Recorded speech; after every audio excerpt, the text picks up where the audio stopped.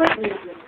В духе его представай каждый, и слав Господне имя каждый день при любых обстоятельствах жизни твоей. Ибо Дух Святой твой проводник, и Он знает, как вести тебя. Ты же будь послушен Господу, и в руках Его святых будь податливой в ливной.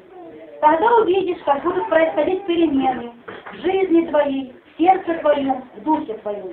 Иисус хочет дать благословение каждой душе. Стремись взять его из руки Господней. Прилагай старание, усилие, и тогда получишь его. Так говорит Господь.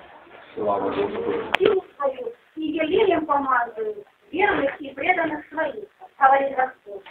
Иди за Господом по путям Его, смотри на Голгофу, внимай Божьим наставлениям и принимай участие в страданиях, ибо такова воля Божья.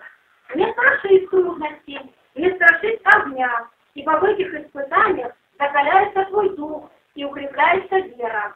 Потому радуйся и благодари Господа за каждую трудность, допущенную твоей душой. Верь Богу, ибо что сказал тебе Господь, совершит непременно.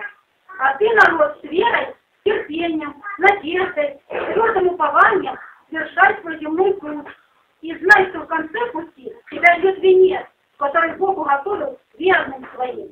Потому стремись к почести высшего звания, переходи от силы к силе, от веры к вере, и славь Бога.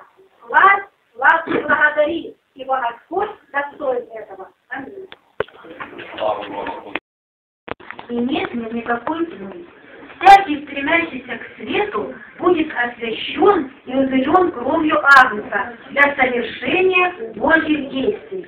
Господь будет проводить каждого своего чада путями Его, и тьма не сможет поглотить верных Его. Силы тьмы бессильны пред светом лица Господнего и бегут от Него, и от вас убегут, если будете во свете Гос- Господнем. Поэтому Господь говорит к народу своему, пребывайте в свете моем, и сами будьте светом в мире растления. Не страшитесь, тот, что в вас, сильнее того, кто в мире. Иисус будет действовать в сердцах чистых, верных, освященных и смиренных в полной мере. Поэтому каждый стремится быть таковым. К этому призвал вас Господь. Слава Господу. Слава Господу.